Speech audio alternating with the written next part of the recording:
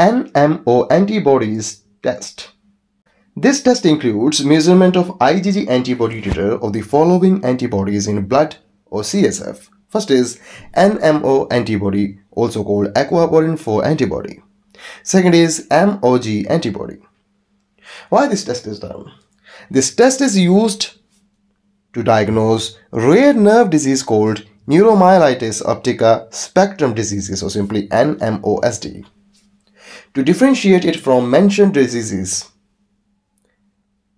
to monitor the prognosis and chances of relapse of NMOSD and to monitor course of disease and response to treatment.